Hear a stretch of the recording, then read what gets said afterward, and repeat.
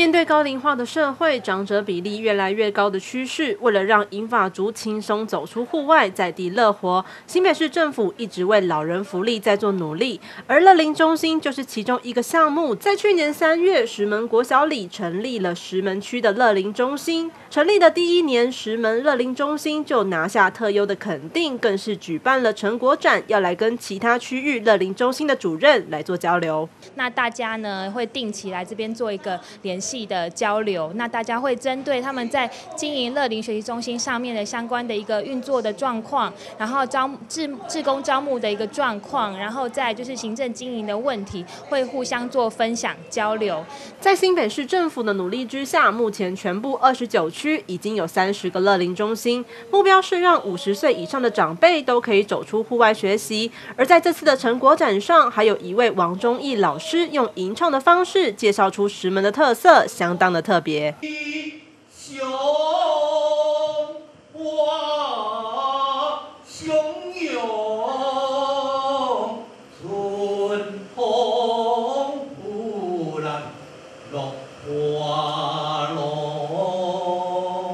那我也希望我们石门在地的长辈们啊，不管你喜欢哪一个活动，你都可以啊就近来办理个来参加。那如果是啊你有喜欢的课程，目前我们学习中心这里没有开课，也可以提供建议给我们哈，我们一定努力的来啊。